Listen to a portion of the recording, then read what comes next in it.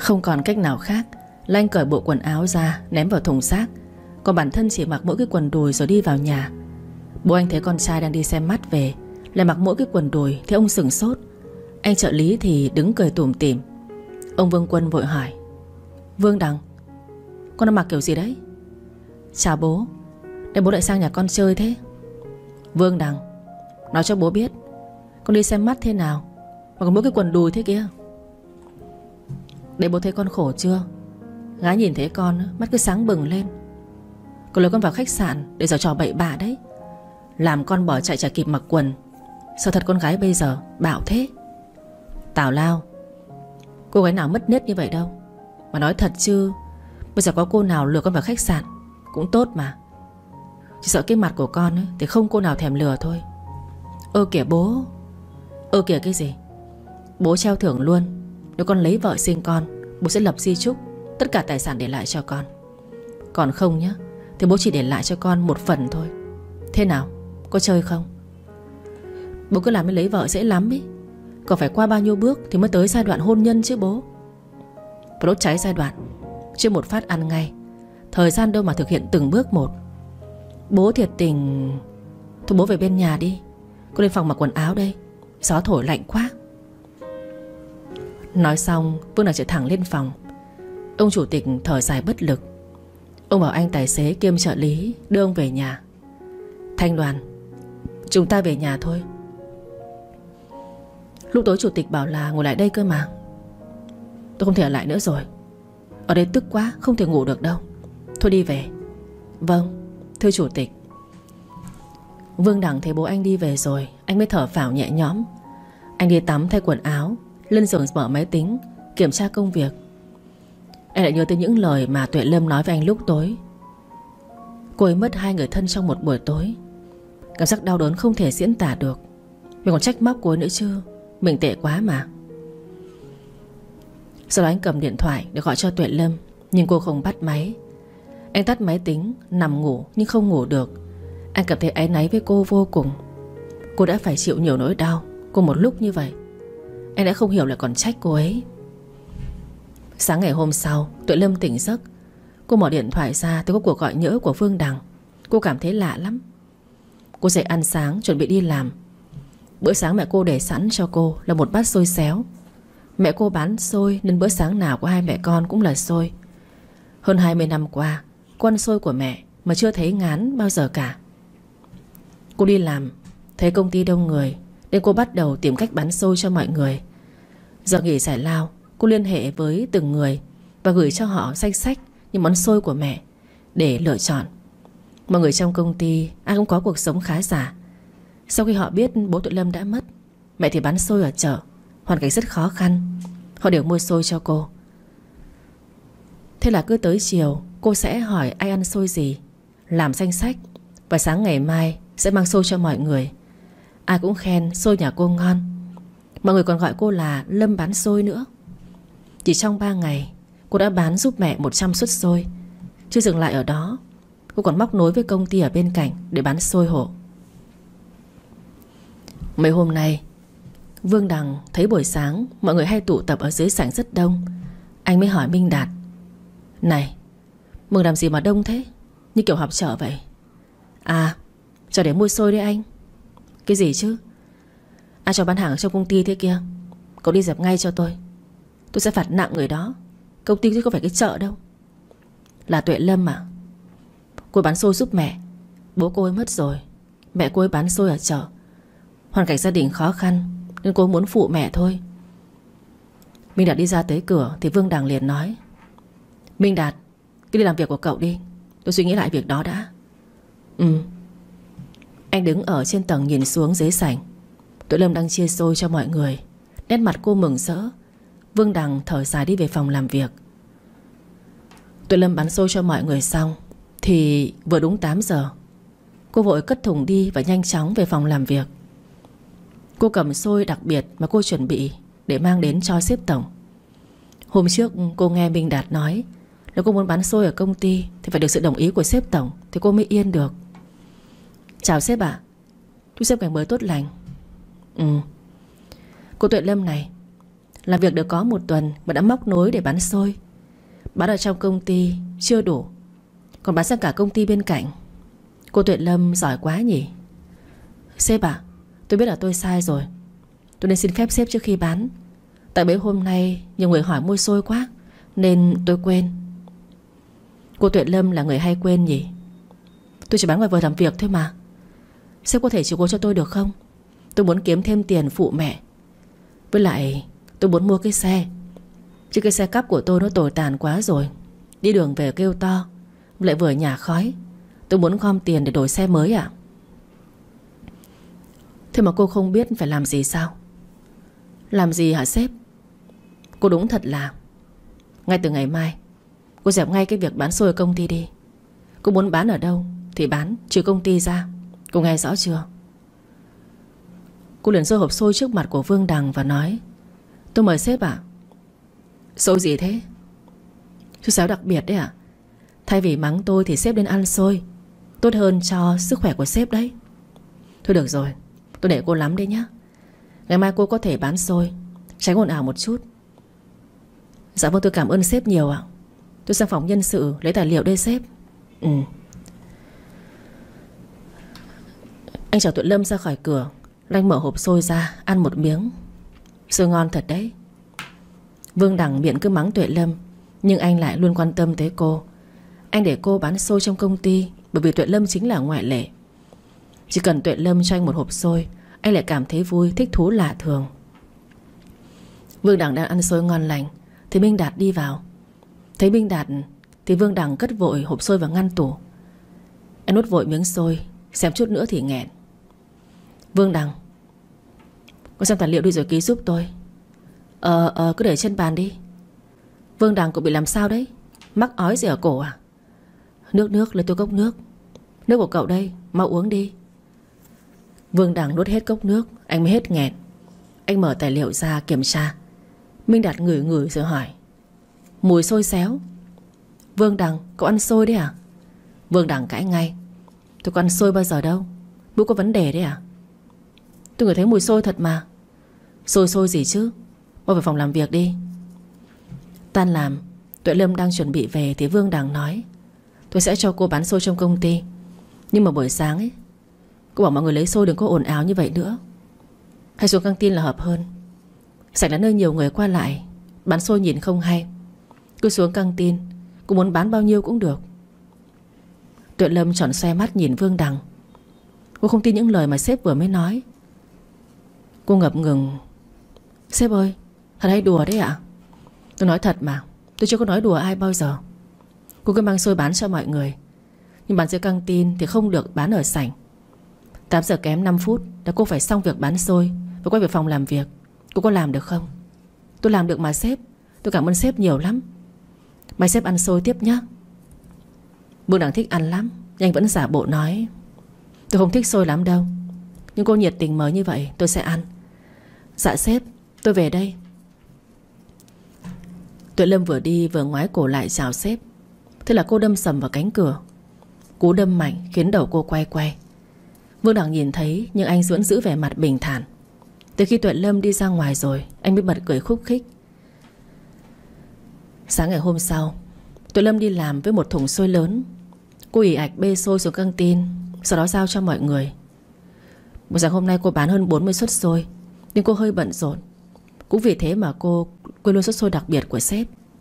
Cô cũng bán sạch hết hộp xôi rồi, Nên cô cũng phải nhịn đói. Nhưng cô không hề biết Vì cô mà sếp cũng phải nhịn đói. Đúng 8 giờ, Cô về phòng làm việc. Vương đằng chờ cô mang xôi lên. Nhanh lại thấy cô đi người không? Anh liền hỏi. Tuệ Lâm, Xôi của tôi đâu? Cô mới ứa người ra. Ôi tôi chết rồi, tôi quên. Tôi xin lỗi sếp. Sao là tôi vội quá? Nên tôi quên mất rêu rồi. Cô Lâm hay quên quá nhỉ? Thôi bỏ đi. Cô đưa tài liệu cho tôi để tôi ký, Còn đi họp. Sếp à? Hay là ăn, anh xuống căng tin ăn tạm gì đó đi. Không đủ thời gian đâu. Sắp họp rồi. Tôi xin lỗi. Mà tôi bổ cho sếp một suất xôi to bự nhé Vương Đằng nói giọng đầy giận dỗi. Không cần. Mà tôi đi ăn phở bò. Không thích ăn xôi. Nói xong Vương Đằng đứng dậy đi họp. Lâm cảm thấy áy náy vô cùng. Sếp đã tạo điều kiện cho họ như thế? Mà cô lại để cho sếp nhịn đói. Cô cứ tự trách mình mãi. Vương Đằng ngồi họp, Mà bụng của anh sôi ủng ục. Cơn đói bụng bao vây Khiến cho anh ngồi họp không tập trung. Kết thúc cuộc họp, Khi ra ngoài hành lang, Minh Đạt và mấy người tấm tắc khen sâu của Tuệ Lâm ngon. Thế là Vương Đằng lại càng tức hơn. Anh trở về phòng với cái bụng đói. Cuộc họp kéo dài suốt 2 tiếng đồng hồ, Khiến cho anh vừa đói vừa mệt, Lại vừa bực mình. Khi trở về phòng, Anh ngạc nhiên Thì thấy trên bàn mình là một tô phở nóng hổi. Bên cạnh còn có một cốc trà xanh mát lạnh. Tuệ Lâm lý nhí nói Xếp ăn phở đi ạ. Cô gọi phở cho tôi đi ạ. Đâu cần phải làm như vậy đâu. Tôi nghĩ rất cần chứ ạ. Tôi sợ sếp đói bụng, Sếp làm việc không hiệu quả, Ảnh hưởng tới công ty, Nên tôi đã gọi phở mời sếp ăn ạ. Cô quan tâm tới tôi vậy sao? Nói đi, cô có ý gì với tôi? Ấy không ạ, Sếp hiểu lầm rồi. Tôi không có ý gì khác đâu. Ngoài vấn đề sếp là người trả lương cho tôi, Nên tôi phải quan tâm đến sếp đặc biệt hơn mà. Ra là vậy. Cô sợ hưởng tới tiền lương của cô chứ gì? Làm tôi còn tưởng là cô quan tâm tôi Là vì vấn đề khác chứ. Không ạ, Sếp ăn đi cho nóng. Cảm ơn cô. Anh ngồi ăn phở, uống trà xanh. Anh quay sang nhìn Tuệ Lâm, Thì anh thấy cô đang nhai bánh mì. Giây phút đó, anh cảm thấy cảm xúc của mình thật là khó tả. Buổi sáng nay cô Lâm cũng không ăn sáng hay sao? Tôi bận bán xôi quá nên cũng không kịp ăn à? Anh bỗng cảm thấy áy náy. Cô đã bỏ tiền túi ra mua phở cho anh. Còn bản thân cô lại ăn bánh mì khô khốc. Anh tự trách bản thân mình. Tôi Lâm nhận được lịch đi xem mắt của sếp Thì cô nói, Sếp Sếp có lịch xem mắt vào tối nay đấy. Ông chủ tịch nói Ông ấy gọi cho sếp không được. Nhắn tin sếp không trả lời. Sếp phản hồi ngay đi ạ. Lại xem mắt. Không biết lần này Bọn tôi gắn ghép tôi với cô gái nào đây? Dạ Cô tên là Nguyễn Ngọc Anh. Đọc tới đây tụi Lâm lại ngừng lại. Nhìn ảnh, họ tên Địa chỉ nghề nghiệp cô lại thở dài. Cô gái chính là Ngọc Anh. Cô bạn tưởng rất thân của Tuệ Lâm. Sao thế? Đọc tiếp đi chứ. Đây à? Có họ tên địa chỉ nghề nghiệp rồi, Có cả ảnh nữa. Xếp tự xem đi. Anh nhìn ảnh thấy quen quen, Nhưng hình như là anh đã gặp ở đâu mà không nhớ. Nhìn quen nhỉ, Nhưng tôi vẫn không nhớ đã gặp ở đâu. Nhưng dù cô ta có là ai đi chăng nữa, Tôi vẫn không muốn dây dưa yêu đương Vào lúc này đâu. Hình cách giúp tôi Làm cô ta bỏ cuộc đi. Tôi trả cho cô một khoản hậu hĩnh. Xin lỗi sếp nhưng tôi không thể tham gia lần này đâu ạ. Nếu không thích thì sếp tự nghĩ cách đi. Này cô Tuệ Lâm, Thái độ của cô là gì đây? Cô là trợ lý của tôi đấy, Cô quên rồi hay sao? Tôi không bao giờ quên. Tôi chỉ là không thích dây dưa vào mấy chuyện này nữa. Lý do? Không có lý do gì hết đâu ạ. Còn trong công việc, tôi sẽ làm hết mình có thể. Chỉ xin sếp đừng bảo tôi tham gia vào mấy việc ngoài lề này nữa. Nói xong cô đi nhanh ra ngoài. Từ ngày vào làm trợ lý Thì ngày hôm nay cô đã cãi lời sếp. Cô không muốn dây vào những chuyện Như thế này, Bởi vì cô không muốn dính dáng tới Ngọc Anh nữa. Quá khứ mà cô đã trải qua Là quá đau đớn và tàn nhẫn với cô rồi. Nhắc tới Ngọc Anh, Cô lại run sợ. Muôn đảng đứng ngây ra đó Mà không hiểu chuyện gì. Bình thường với vai trò là một người trợ lý, Cô sẽ giúp anh giải quyết tất cả mọi vấn đề Từ công việc, Từ những việc riêng của anh. Thế mà ngày hôm nay, Nói tới việc anh đi xem mắt, Là cô tỏ thái độ không vui Và nhất quyết không muốn giúp anh. Anh còn chưa nói xong, cô đã bỏ đi ra ngoài. Lúc đó Minh Đạt mang tài liệu vào và nói, Vương Đằng, Tôi gửi tài liệu đấy, Cậu xem đi. Ừ để đó cho tôi. Có chuyện gì vậy? Sao mặt cậu trông khó coi thế? Minh Đạt này, tôi hỏi cái này nhé Ờ hỏi đi. Nếu một cô gái Biết cậu sắp đi xem mắt mà cô tỏ thái độ khó chịu ra mặt. Thì là cô đang suy nghĩ gì? À thì là họ thích tôi. Nên họ khó chịu chứ sao? Thật thế à? Tôi nghĩ là thật. Đâu ra tự dưng lại tỏ thái độ với tôi đâu. Có lý do gì đó chứ? Ừ cậu nói cũng đúng. Cậu đang nói về ai đó Vương Đằng. Không về ai cả, Tôi hỏi vui như vậy thôi. Cậu rảnh quá ha, Tôi đi làm việc đây. Ừ. Vương Đằng ngồi suy nghĩ. Và tự suy diễn một mình. Anh nghĩ Tuệ Lâm thái độ như vậy Là do cô thích anh. Bởi vì cô thích anh nên cô mới khó chịu ra mặt. Sau đó anh nghĩ ra bao nhiêu là chuyện điên rồ, Rồi anh ngồi cười tự mãn. Tôi đẹp trai, tôi không có dễ dãi đâu nhá. Thích tôi mà dễ à? Không có cửa cho cô đâu. Sói à? Tuệ Lâm đi về với vẻ mặt không vui. Mẹ cô thấy vậy thì liền hỏi. Tuệ Lâm, Sao mà trông con buồn thế? Đi làm có chuyện gì không vui hả con? Không có gì đâu mẹ. Thế sao trông con buồn vậy? Con nói bụng thôi mẹ. Thế con rửa tay để ra ăn cơm nhé Mẹ nấu cơm chín rồi đấy. Nay mẹ kho thịt với trứng cút ngon lắm. Dạ vâng. Tuệ Lâm vừa tắm xong, Cô đang giặt quần áo Thì cô nghe thấy tiếng chuông điện thoại. Thấy sếp gọi, cô còn tưởng là có công việc gì gấp lắm. Nhưng cô vội bắt máy. Alo à Tuệ Lâm đi à cô ăn cơm chưa? Tôi mới ăn xong. Có chuyện gì vậy sếp?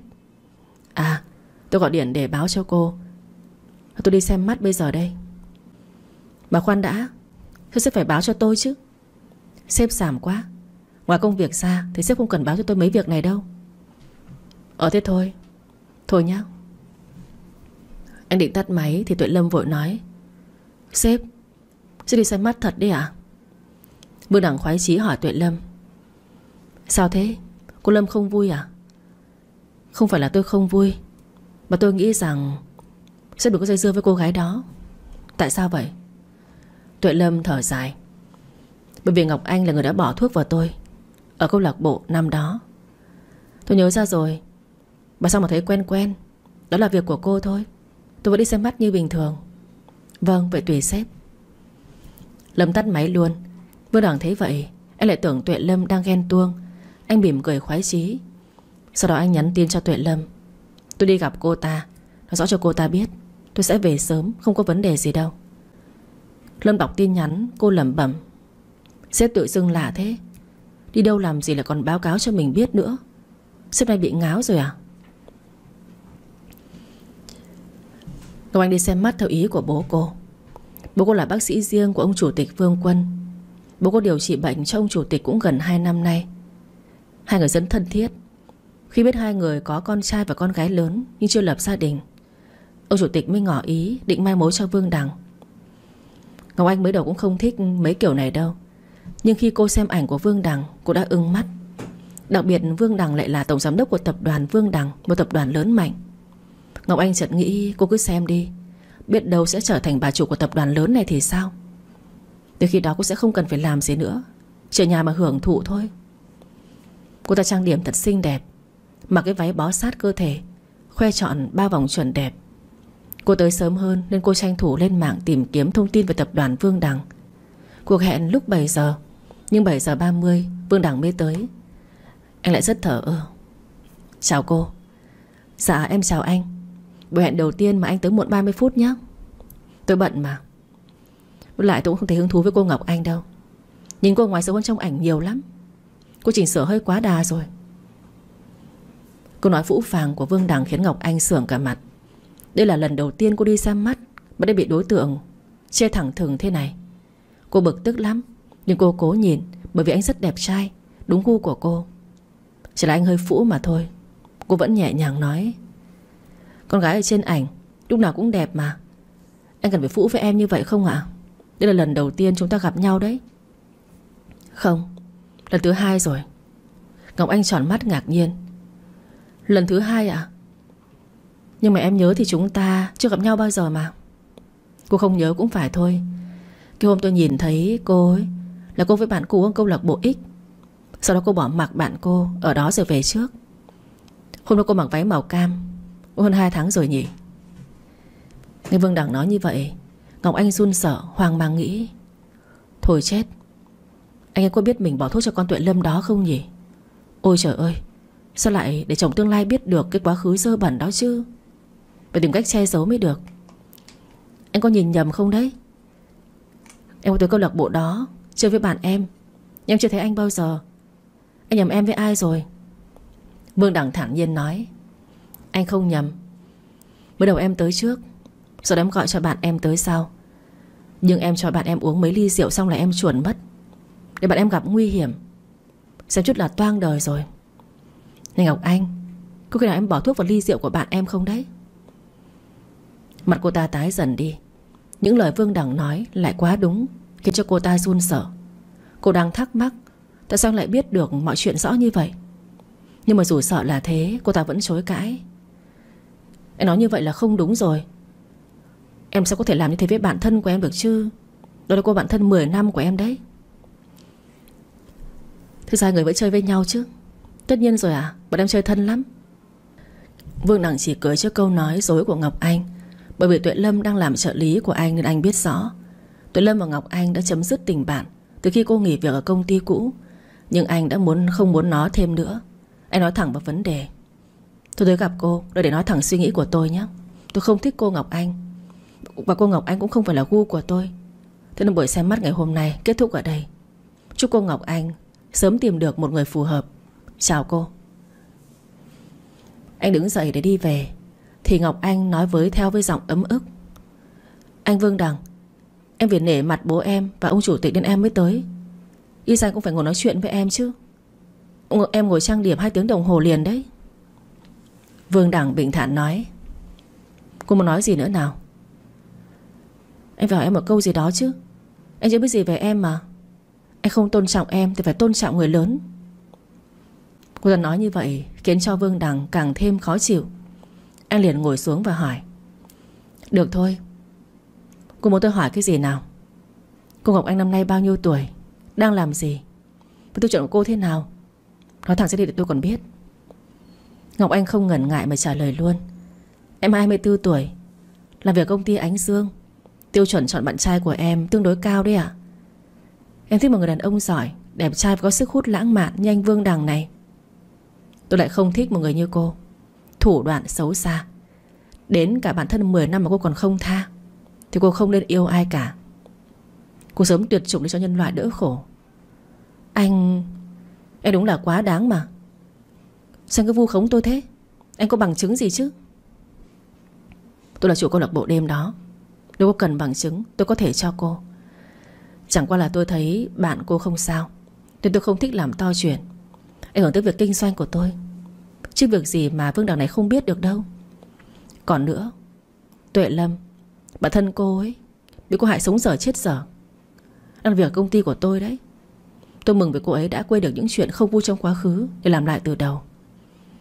Cô học anh sẽ tự về nhà suy nghĩ Những việc mình đã làm đi. Nghe người ta nói, Cô vừa thích bạn trai của Tuệ Lâm, Nên mới tìm cách hãm hại Tuệ Lâm. Anh gọi là bạn trai của Tuệ Lâm Lại bị tai nạn và mất. Trong đêm hôm đó Cô là người đã gián tiếp hại hai người đàn ông. Cô không trực tiếp giết người, Nhưng lỗi cho cô là một phần đấy. Đáng lẽ cô phải ăn chay niệm Phật, Ngày đêm sám hối đi. Thay vì nói xấu bạn của mình như vậy. Ngọc Anh lắp bắp nói, anh nghe con Lâm nói linh tinh cái gì phải không? Tôi nói rồi, Tôi tận mắt nhìn thấy cô, Ngọc Anh, hại bạn của mình. Cô cần bằng chứng không? Tôi gửi cho cô nhé. Ngọc Anh choáng váng ngồi đôi như tượng đá. Cô ta không thể ngờ được Anh lại biết rõ mọi chuyện về cô ta như vậy. Cô ngồi bất động, Miệng cứng lại, không biết nói được câu gì. Vương Đằng đứng dậy, Đi về thẳng. Sau khi biết Ngọc Anh là bạn thân của Tuệ Lâm, Thì Vương Đằng rất bức xúc.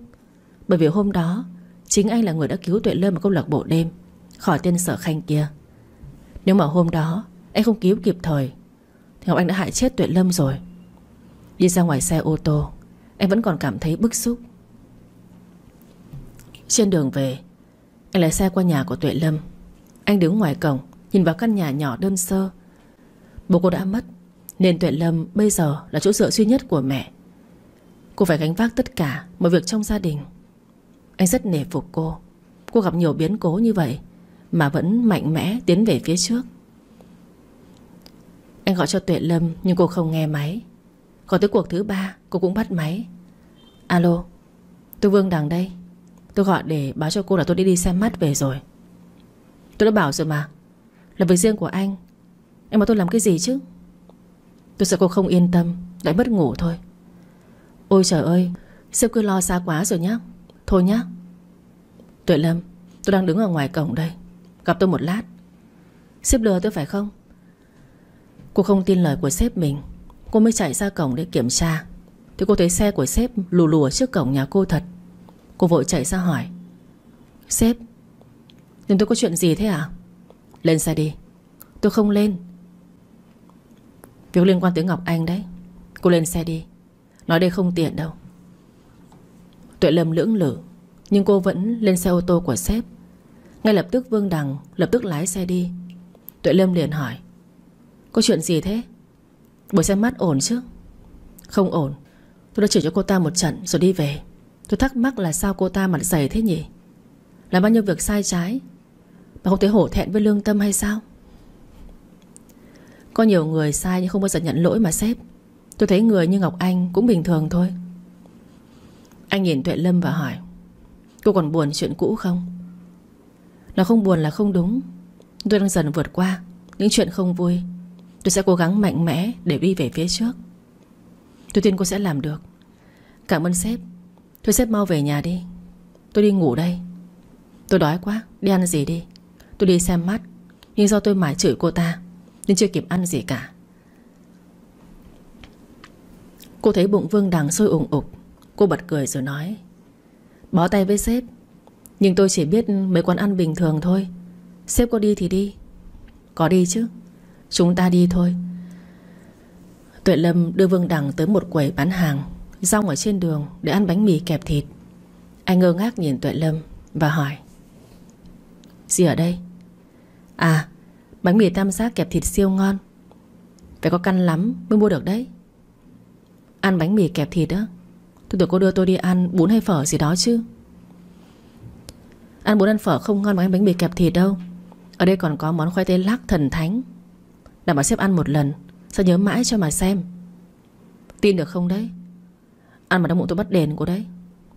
Yên tâm đi, Nhà tôi còn lọ thuốc mà. Anh đau bụng tôi sẽ đưa thuốc cho anh. Cô bảo bác bán bánh. Bác ơi, Cho con hai cái bánh mì kẹp và hai phần khoai tây lắc nhé Cô hết 70 ngàn. Dạ con gửi tiền. Hai người đang đứng chờ lấy bánh mì, Thì có xe công an đi tới. Một bàn bánh mì vội vàng. Lên xe bánh và phóng đi. Bác vừa đi vừa nói to, Công an phường tới rồi, Bác chạy trước đây. Hẹn gặp nhau ở đằng kia nhé. Cô với Vương Đằng ngơ ngác nhìn theo. Cô vội nắm tay của Vương Đằng Và kéo mạnh anh theo xe bác bán bánh. Nhanh lên, Cho tôi bác bán bánh đi, Không chết đói bây giờ. Anh chưa kịp nói gì Tuệ Lâm đã kéo tay anh chạy đi. Giây phút Tuệ Lâm nắm tay anh, Khiến cho anh ngỡ ngàng. Cứ như vậy, Anh chạy theo cô mà lòng vui khó diễn tả. Mùi hương tóc cô thoang thoảng trong gió, Anh như bị lạc vào con đường tình yêu. Anh tưởng tượng ra cảnh, Tuệ Lâm nắm tay anh. Hai người đang tung tăng, chạy giữa một vườn hoa đủ màu sắc. Hương thơm ngào ngạt thật là dễ chịu và thoải mái. Không gian lãng mạn ấy, Chỉ có hai người đang nắm tay nhau. Thời xe bát bán bánh, Được một đoạn đường.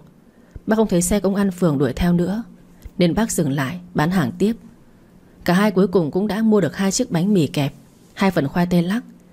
Cả hai vừa đi bộ vừa ăn bánh ngon lành. Do chạy một đoạn, quá mệt, Nên bây giờ ăn bánh. Hai người cảm thấy rất ngon. Tuệ Lâm hỏi Vương Đằng. Thế nào, tôi nói có đúng không? Ba cái bán bánh siêu đỉnh mà. Ngon lắm, Bố tôi chạy hơi nhọc. Thôi chúng ta hơi đen, Bình thường không có công an phường đâu. Hôm nay lại có, Nên chúng ta phải chạy bộ hết hơi đấy. Cô tiếc cái bánh hay là vì tiếc 70 ngàn thế? Bắt tôi chạy rõ nhọc. Cả hai. Thế thì anh mới được chạy tập thể dục chứ? Tôi thấy cũng vui mà. Anh gật gù công nhận. Vui thật. Không hiểu sao cứ ở bên cô Tuyển Lâm tôi lại cảm thấy rất vui vẻ, Rất thoải mái. Không có muộn phiền. Cảm giác vô tư. Không suy nghĩ vướng bận gì cả. Tuệ Lâm cười, cô nói, Cuộc sống của những người nghèo khổ như chúng tôi là vậy đấy. Có mấy người giàu như các anh Suốt ngày lo cơm áo gạo tiền. Còn gánh vác trên vai bao nhiêu là thứ như vậy? Anh cứ nghèo như tôi đi, Anh sẽ biết. Vậy cũng tốt mà. Không tốt lắm đâu sếp. Khi sếp nghèo, sẽ bị người khác khinh thường. Người nghèo bao giờ cũng bị khinh thường, Bị phân biệt đối xử mà. Nói chung là thiệt thòi thôi. Tôi đang mong giàu sụ như anh đây này. Cố lên. Vâng tôi sẽ cố gắng hết sức. Cô và Vương Đằng vừa đi vừa nói chuyện rôm rả Tới giờ rồi mà Vương Đằng còn chưa muốn về, Để Tuệ Lâm phải đuổi khéo. Sếp Sếp về đi, Muộn rồi ạ. Vẫn sớm mà, Cho tôi vào nhà uống cốc nước đi. Ăn bánh mì bây giờ khát nước quá. Không được, Anh về nhà anh mà uống, Tôi không cho anh vào nhà tôi đâu. Uống cốc nước rồi về thôi Cô khó khăn quá vậy là sao? Gì chứ? Tôi mời ăn bánh mì rồi đấy. Còn bảo tôi khó khăn là sao? Anh đi về nhanh đi. Tôi còn ngủ sớm. Mà còn phải dậy sớm bắn xôi đấy. Mà tôi mua cả thùng xôi cho cô được chưa? Để cho tôi vào nhà uống nước cốc nước đã chứ. Tôi nói không được là không được. Hai người đang đẩy nhau ở cổng. Thì Lâm nhìn thấy mẹ Đang đi bộ từ đầu ngõ về. Tuệ Lâm hốt hoảng nói, Mẹ tôi kìa, Mau trốn đi. Sao phải trốn chứ? Để tôi ra chào mẹ cô. Ấy đừng Đừng để mẹ tôi nhìn thấy. Anh mau trốn vào trong xe đi, Nhanh lên. Tuệ Lâm cuống cuồng mở cửa xe ô tô Rồi đẩy Phương Đằng vào trong. Cô định chạy vào trong nhà nhưng không kịp nữa. Mẹ cô đi gần tới nơi. Vì sợ mẹ phát hiện Nên cô đành phải chui vào trong xe trốn. Trong khoảng không gian chật hẹp đó, Cô và Vương Đằng đã người kề sát nhau. Hai mặt rất gần, Tới mức có thể cảm nhận được hơi thở của đối phương. Vương Đằng liền hỏi Tuệ Lâm, Cô muốn hôn tôi à? Suy Nhỏ thôi mà tôi biết thì làm sao? Vương Đằng vẫn thản nhiên mà nói rất to. Cô sợ gì chứ? Chúng ta có làm gì mờ ám đâu. Đừng nói nữa. Tôi cứ nói đấy, tôi chả sợ. Anh cứ nói rõ to, Khiến Tuệ Lâm sợ.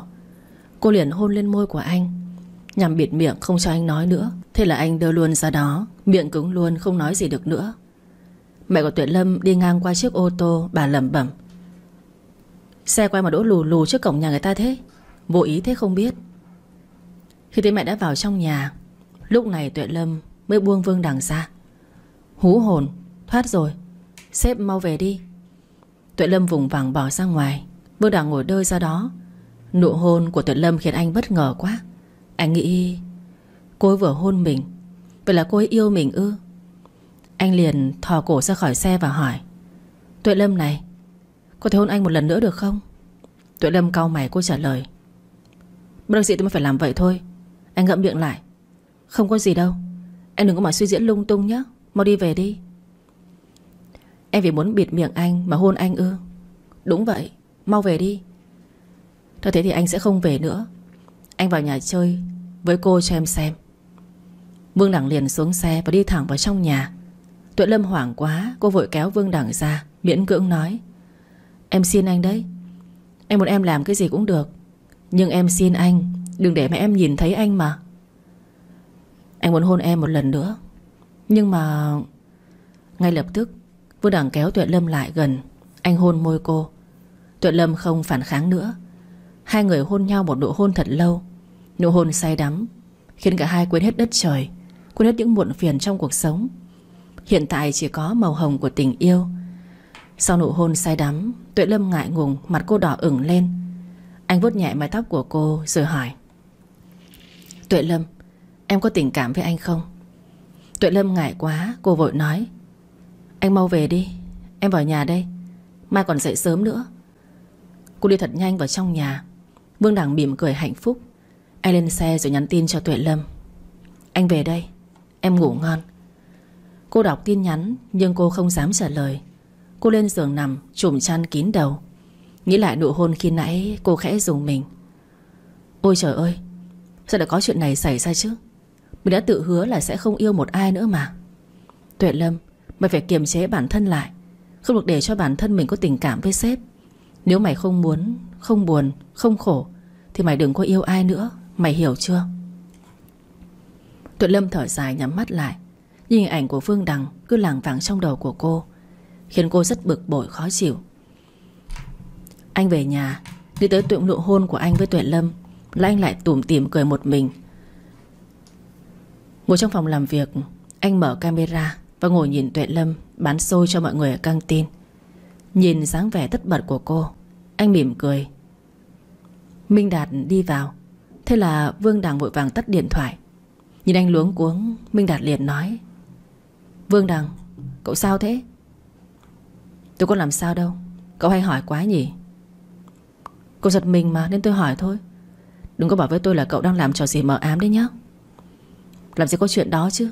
Tào lao. Tôi tào lao được chưa? Mà nay cậu tới sớm thế. Bây giờ mới 7 giờ 30 phút. Hay là đi ăn sáng đi, tôi mời cậu.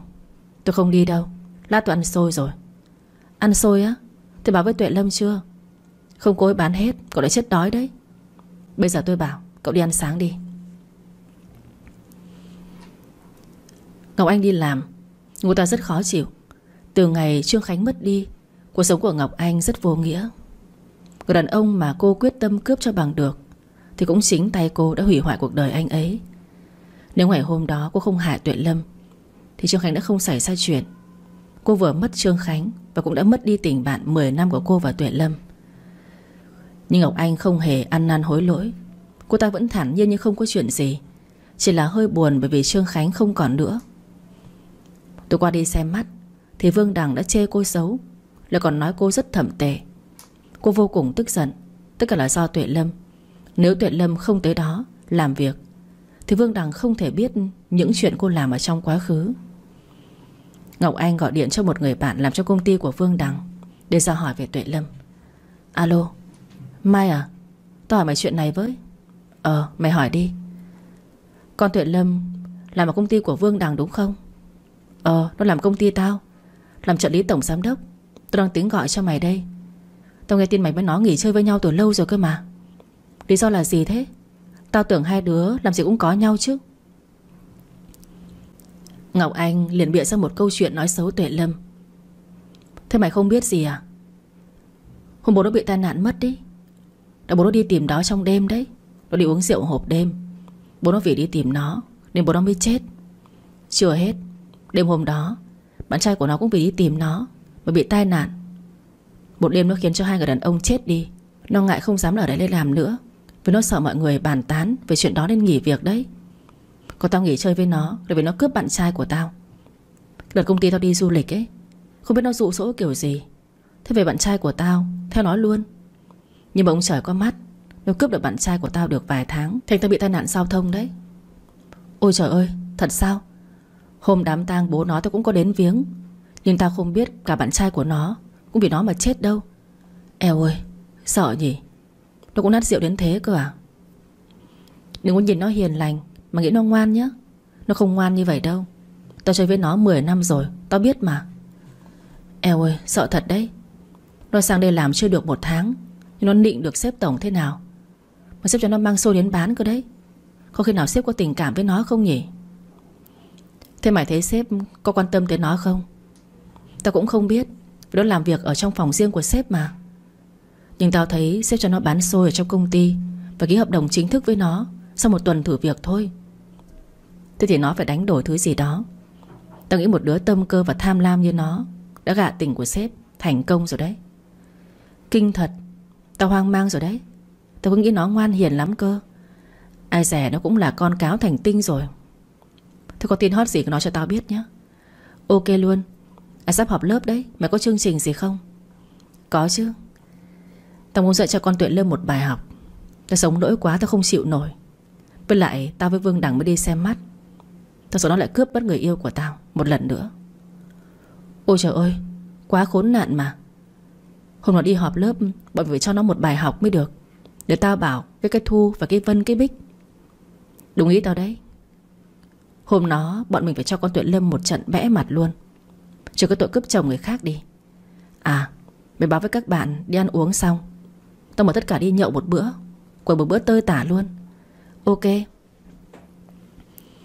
Ngọc Anh mở điện thoại ra. Cô ta xem lại hình chụp chung của cô với Tuệ Lâm, nhếch miệng cười. Tuệ Lâm, Mày chưa xong với tao đâu? Mày cứ chờ đi. Tao sẽ di cái mặt của mày xuống chân của tao. Chừng nào mày còn thở Thì tao còn căm ghét mày. Hai ngày hôm sau, Tuệ Lâm nhận được thông báo đi họp lớp. Bởi vì không muốn gặp mặt Ngọc Anh, Nên cô không muốn đi. Cô bảo với các bạn là cô bận không đi được. Các bạn lại nói Ngọc Anh đã báo là không đi được rồi. Bây giờ cô mà không đi được nữa Thì mọi người buồn lắm. Cô suy nghĩ mãi, Cuối cùng quyết định là cô sẽ đi. Cô nghĩ Ngọc Anh không có mặt Thì cô không ngại vấn đề gì nữa. Nhưng cô đâu biết rằng rất thành trò hề cho mọi người xem. Ngọc Anh thông đồng với các bạn trong lớp, Nhân cơ hội đi họp lớp Để khiến cô bẽ mặt, ê chề. Hai ngày nay, Minh Đạt và Phương Đằng đi công tác. Tuệ Lâm thấy cuộc sống bình yên đến lạ. Cô lại nhớ tới sếp. Sếp đi vắng lại hết người lại nhảy bên tai. Cô cũng cảm thấy hơi buồn. Cô nhắn tin báo với sếp, Xin nghỉ một hôm đi họp lớp. Anh liền gọi lại cho cô và hỏi, Em đi họp lớp sao? Tức là em sẽ gặp lại cô bạn xấu xa của em đấy. Hay là em ở nhà đi.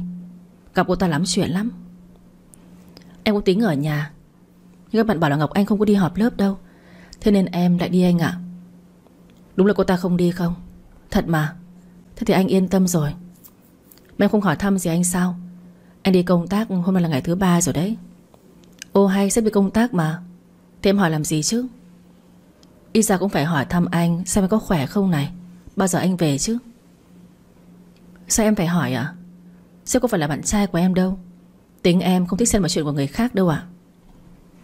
Nhưng hôm đó, Em hôn anh rồi. Bây giờ, em lại phủi tay Nhưng không chuyện gì vậy sao? Bác sĩ thôi mà. Em đừng suy nghĩ phức tạp như vậy chứ. Một việc quan trọng như thế, Em anh không nghĩ sao được đây. Em đã chằn chọc cả đêm, Không thể ngủ được vì em đấy. Đang bận đi công tác không thể đã tới tìm em rồi. Biết ngay mà sẽ đúng là phiền phức. Xong đi công tác vài tháng đi. Anh sợ em lại nhớ anh không chịu nổi. Anh nghĩ ra à? Không có anh á, Em thấy cuộc sống của mình bình yên hẳn đấy. Nhớ nhung gì chứ? Con gái nói có là không, Nói không là có. Anh biết thừa, em đừng có chối nữa. Mà đi họp lớp và nhắn tin cho anh nhé Đi sớm về sớm, Không được la cải biết chưa? Chịu ạ. à? Sao cô có quyền quản cản em? Thế nha em tắt máy đây.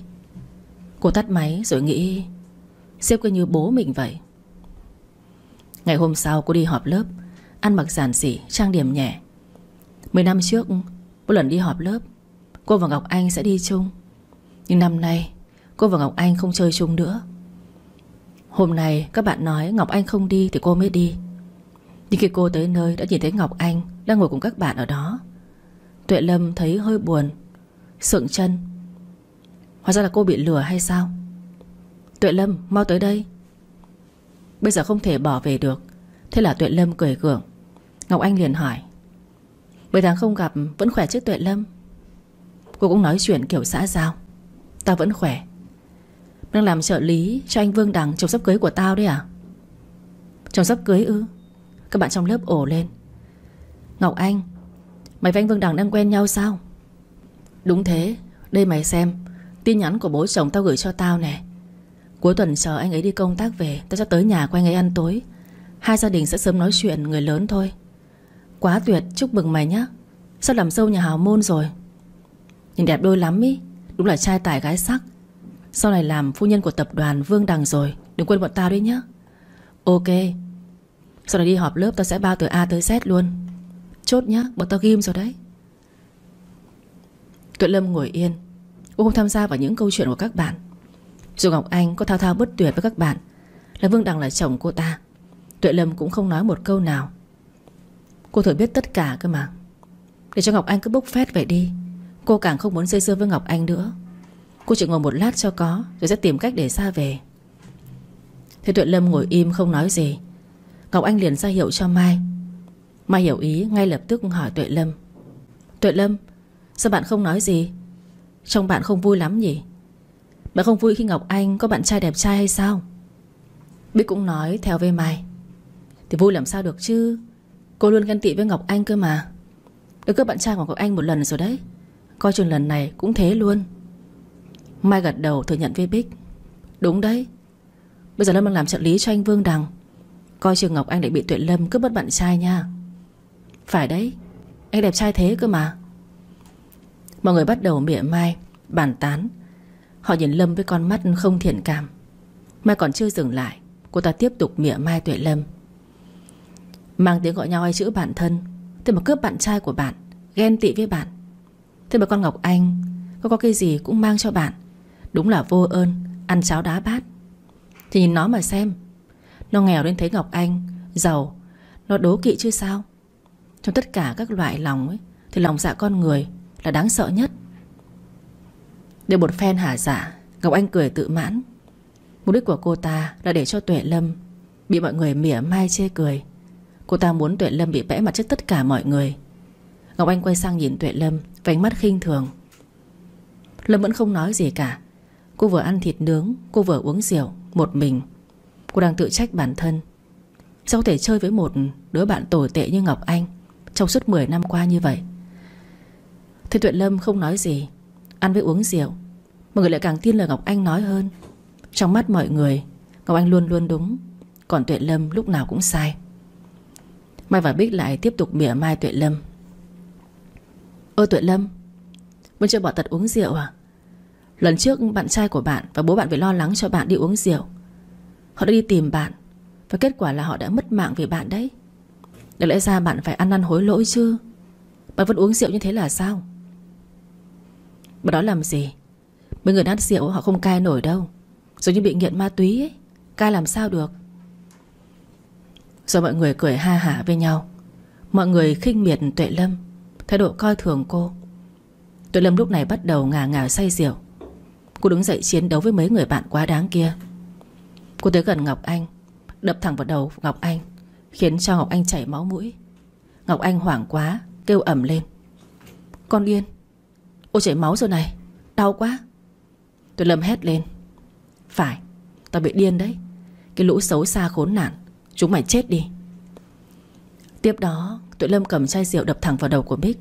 Cô cầm cái cốc ném tiếp vào mặt của Mai. Cô còn vác ghế chọi với mấy đứa bạn xấu xa. Thế là mọi người hoảng sợ, bỏ chạy toán loạn. Sau màn ẩu đà Cô bị cảnh sát đưa về đồn. Bùi đằng chờ mãi không thấy Tuệ Lâm gọi điện cho anh. Anh cứ thấy nóng ruột. Anh gọi về Tuệ Lâm, Nhưng người nghe máy lại là một người cảnh sát. Alo Alo, Anh là ai? Sao lại cầm điện thoại của Tuệ Lâm thế? Tôi là cảnh sát đây. Cô ấy say rượu rồi đánh người, Làm loạn ở nhà hàng. Đưa vào đồn cảnh sát thì cô lăn ra ngủ. Gọi thế nào cũng không dậy. Anh là người nhà cô ấy sao? Mau tới đây đi. Tôi sẽ quay về ngay. Anh là ai vậy? Tôi là Vương Đằng, Lâm là bạn gái của tôi. Tôi hiểu rồi. Nghe tên Vương Đằng, Cảnh sát liền hiểu ý. Họ để Tuệ Lâm ngủ trong phòng chờ. Không một ai đến làm phiền giấc ngủ của cô. Bởi vì Vương Đằng là một nhân vật tầm cỡ. Không phải ai cũng có thể động vào được. Anh ngay lập tức bảo Minh Đạt lái xe về thành phố. Minh Đạt cứ ngơ ngác, không hiểu chuyện gì. Anh vừa đi vừa hỏi. Vương Đằng này có chuyện gì vậy? Hôm nay tụi Lân đi họp lớp, Chắc gặp mấy thành phần khó ưa, Nên cô uống rượu, đánh nhau. Đang ở đồn cảnh sát, Tôi phải về đó để giải quyết chuyện giúp Tuệ Lâm. Ra là vậy. Sếp sếp khai thật đi. Thích Tuệ Lâm phải không? Vương Đảng gãi đầu rồi nói, Tôi chẳng biết nữa, Tôi rất lo cho cô ấy. Đó có phải là thích không? Thích rồi. Thế cậu chưa nói gì với cô ấy sao? Tôi vẫn chưa. Thích người ta mà không nói ra, Ai biết được chứ? Mà tôi thấy Anh Tuấn ở phòng quảng cáo thích Tuệ Lâm hay sao ấy? Vương Đằng trợn tròn mắt Nhìn Minh Đạt và hỏi Cô nói sao? Tôi thích Tuệ Lâm hay sao? Ừ Tôi thấy sáng nào Tuấn cũng ăn xôi Mà lúc trước Tuệ Lâm chưa tới Ngày nào cậu ấy cũng rủ tôi đi ăn bún hay phở. Thế mà từ ngày Tuệ Lâm bán xôi Ngày nào Tuấn cũng ăn xôi. Đã vậy còn liên hệ với mọi người để ban xôi giúp Tuệ Lâm nữa. Cho Tuấn thích Tuệ Lâm rồi Vương Đằng mặt sầm lại. Anh thấy bực bội khó chịu vô cùng. Lái xe nhanh đi. Không nói mấy chuyện vớ vẩn nữa. Ô hay Hay là cậu ghen tuôn nên khó chịu đấy à? Chưa ghen hiện rõ lên mặt của Vương Đằng, Nhưng anh không chịu thừa nhận. Anh vẫn vênh mặt lên cãi. Sao tôi phải ghen chứ? Tôi với cô ấy có gì đâu mà ghen với trả tuông. Cứ chối đi. Từ lúc mà tôi tóm được hai người có vấn đề Thì cậu biết tay tôi. Anh liền lảng sang chuyện khác. Cậu mở nhạc nghe đi. Chứ nghe giọng cậu, tôi chán quá rồi. Mở nhạc nhẹ nhàng, thư giãn chút đi. Cậu cũng lắm trò lắm đấy, Vương Đằng. Tôi nói trước nhá. Chậm chân là mất đấy. Ngoài mặt Vương Đằng tỏ ra không mấy quan tâm, Nhưng trong lòng của anh đang rất lo lắng bất an. Anh lẩm bẩm, Cái tuần Tuấn chết tiệt. Coi chừng tôi đuổi việc anh đấy. Từ lúc đó đừng hỏi tại sao. Minh Đạt thấy Vương Đằng lẩm bẩm anh liền hỏi. Vương Đằng, Cậu lẩm bẩm cái gì thế? Không có, Nó lái xe đi. Đạt lắc đầu cười ngao ngán. Anh thấy Vương Đằng thích Tuệ Lâm, Nhưng lại không dám thừa nhận. Vương Đằng về tới nơi thì trời đã sầm tối. Lâm vẫn ngủ say như chết ở đồn cảnh sát. Anh ngồi giải quyết với cảnh sát xong, Rồi anh mới vào phòng gọi Tuệ Lâm. Tuệ Lâm dậy đi, chúng ta về nhà thôi. Cô mở mắt ra, lẻ nhẹ hỏi. Ai đấy? Anh đây, Vương Đằng của em đây. Là cái thằng nào ấy nhỉ? Tôi còn ai tên là Vương Đằng đâu. Tuệ Lâm, Em vẫn chưa tỉnh sao? Uống gì mà nhiều thế? Kệ tôi, Anh là ai mà dám mắng tôi? Tôi bao nhiêu mặc xác tôi chứ? Đi về, Anh đưa em về. Nói rồi, Vương Đằng cõng Tuệ Lâm lên vai và đi ra ngoài. Đạt vội mở cửa xe ô tô Để Vương Đằng đỡ Tuệ Lâm lên xe. Minh Đạt hỏi Lâm vẫn chưa tỉnh hay sao? Sao cô ấy uống nhiều như vậy? Chắc là cô ấy đã gặp lại người xấu xa, Nên uống hơi nhiều thôi mà. Cậu lái xe đi, Đưa cô ấy về nhà. Ừ. Vừa đi về, Minh Đạt vừa kể với chất giọng rất phấn khích. Tôi nghe anh cảnh sát kể, Họ trích lại camera ở nhà hàng. Thấy Tuệ Lâm dùng đầu của mình Đập vào mặt một người, Khi người nọ chảy cả máu mũi. Sau đó cô ấy cầm chai rượu đập vào đầu một người khác, Ném bốc vào mặt của một người khác nữa. Cuối cùng là vác ghế cho mọi người. Khiến tất cả mọi người hoảng sợ Và sẽ toán loạn phải không? Ừ đúng. Ái trà không phải dạng vừa đâu nhá. Cô cân tất cả, chả sợ bố con thằng nào. Rất mạnh mẽ. Tôi bắt đầu thích Tuệ Lâm rồi đấy. Ừ. Cậu áng giọng cái gì? Cậu vừa nói với tôi là cậu và Tuệ Lâm không có gì mà. Lâm chưa có bạn trai, tôi chưa có bạn gái. Hai chúng tôi yêu nhau Thì làm sao chứ? Vớ vẩn. Nó đang lung tung.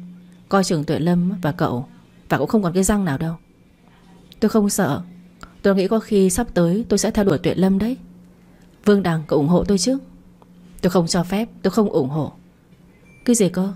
Cậu có quyền gì mà can thiệp vào chuyện của tôi với Tuệ Lâm?